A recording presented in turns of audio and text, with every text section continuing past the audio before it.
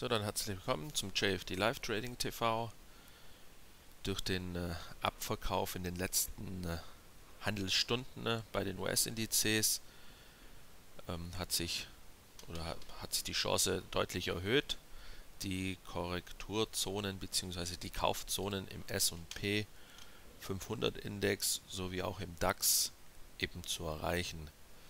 Das war ja am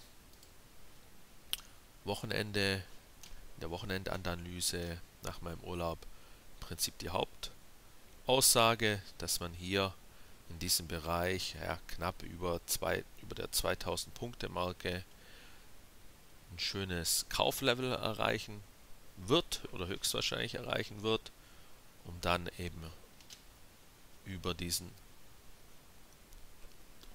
Trendkanal Oberkante eben noch auszubrechen. Die Muster würden das auf jeden Fall hergeben, dass eben auch hier ja, der, die Gewinnmitnahmen enden könnten ne, und eben neue Kaufaufträge da sind und eben durch ein neues Hoch wird höchstwahrscheinlich hier der Trendkanal dann eben gebrochen. Ob jetzt nur temporär für ein neues Hoch oder dann doch für ja, einen kompletten Ausbruch über neue Allzeithochs muss man eben noch sehen. Also für, für mich wäre jetzt erstmal nur präferiert hier ein neues Hoch an die ja, knapp über der 2100 Punkte Marke im S&P 500 Index. Im DAX gab es ja gestern nach dem Gap Close ja einen Short Squeeze, der aber eben hier in der in dem Gap endete beziehungsweise eben auch an dem EMA 38 im Tageschart. Hier wäre für mich weiterhin ein, äh, ja, ein Befreiungsschlag möglich, wenn der DAX über 9800 Punkte ansteigen sollte, aber eben auch auf Schlusskursbasis dieses Level halten kann. Und dann wäre hier wieder ein schönes ja, Heranlaufen an den EMA 200 eben denkbar. Gleichzeitig liegt hier eben auch noch so ein Wochenwiderstand. Allerdings wäre es eben zunächst schön, wenn er jetzt hier in diesem Bereich, der noch nicht ganz definiert ist, allerdings eben definitiv über der, zwei, über der 9245er Marke eben enden sollte, hier die Korrektur. Ob es jetzt in dieser Woche schon hier reinfallen soll, kann, ja, oder auch nächste Woche. Aber im Prinzip die präferierte Richtung ist jetzt, äh, wäre jetzt hier erstmal Richtung eben 9,4, solange er eben unter dem EMA, 2, äh, EMA 38 sowieso bleibt und unter, unter 9800 Punkte. Im Stundenchart ja, sah man gestern eben heranlaufen an den EMA 200, eben hier im Xetra. Und aktuell ja, kämpft er hier jetzt oder bricht unter der, der den Rainbow Unterkante durch, genauso wie unter der Wolkenunterkante. Allerdings kann sich eben hier direkt an der ja, Horizontalwiderstand konnte sich der Abverkauf erstmal erledigen.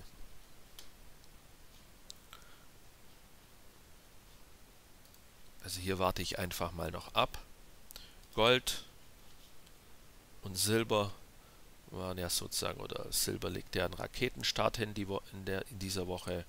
Gold kann dem folgen, zwar nicht ganz so explosiv, aber dennoch hier ist ja das Setup weiterhin intakt, ist nicht in die zweite Kaufzone eingedrungen.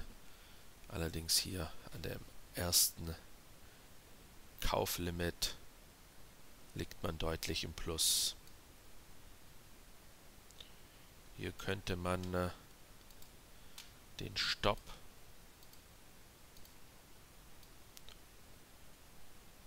schon deutlich anheben, eigentlich auf das letzte Low. Sollte sich jetzt hier, also Gewinnmitnahmen könnte man tätigen, allerdings muss geben die Muster eben auch hier noch ein neues Hoch her.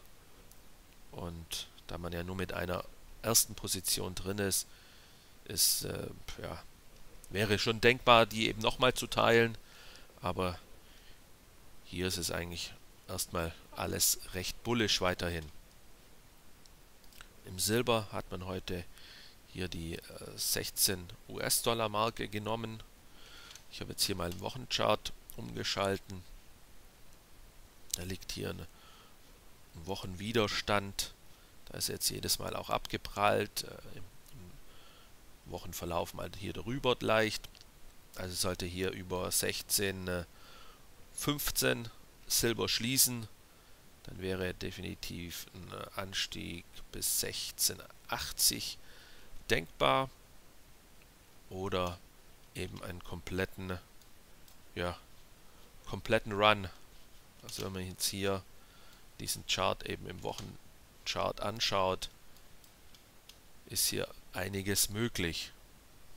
Also wenn das dann mal wirklich ins Laufen kommt ja sind Short-Positionen meist dann tödlich.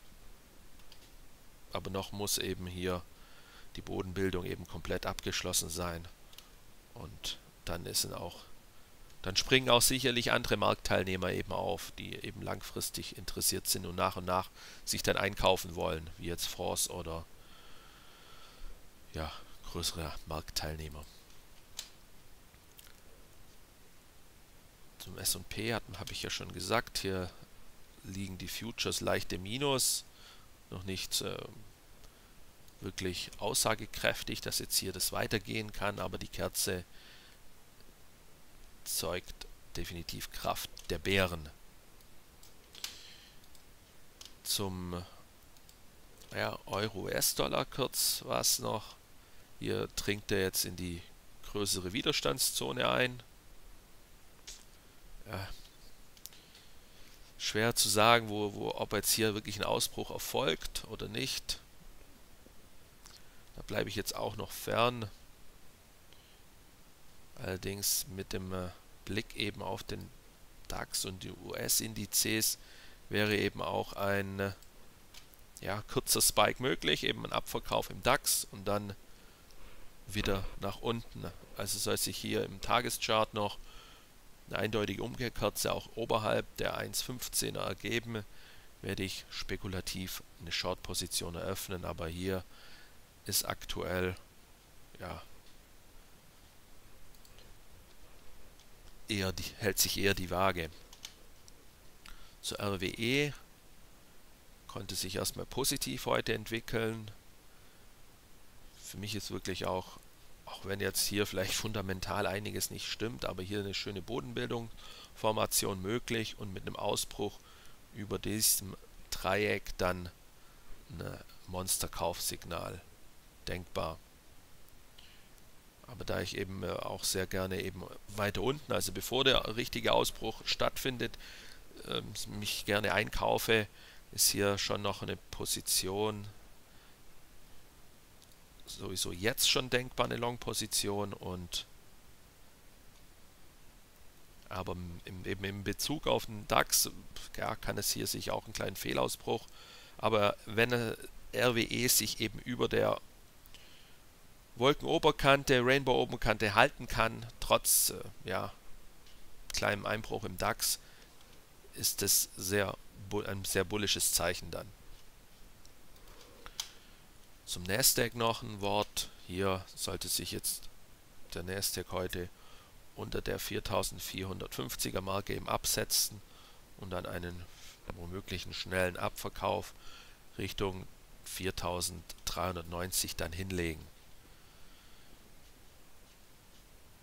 Und dann eben auch ein neues Hoch, beziehungsweise hier noch das komplette Gap, ein Gap Close eben dann stattfinden.